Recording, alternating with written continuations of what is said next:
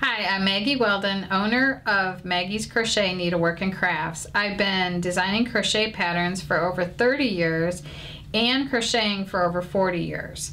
I am so excited to be able to share my expertise with you through these videos. If you need help with anything, just write it in the comments and be sure to subscribe to our channel and our Facebook page is Maggie's Crochet. Our website is maggiescrochet.com. I really hope that you enjoy the video and I want to thank you very much for watching. Hi, this is Maggie Weldon from Maggie's Crochet Needlework and Crafts and in this video I'm going to show you pattern number PA981 that's available at maggiescrochet.com.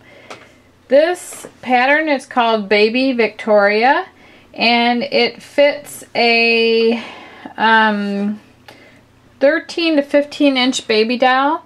This is what the pattern looks like when it's on the little doll. And there are several um, patterns within one pattern here. And one of them is the Afghan and that is 13 inches square.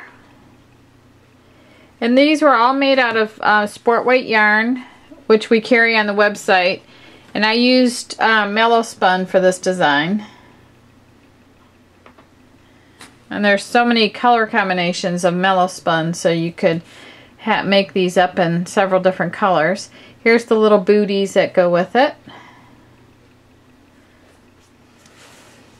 And here's the adorable little dress. And it's got little bloomers that go with it. These are separate little bloomers. There's the dress. And then there's a cute little ruffled bonnet.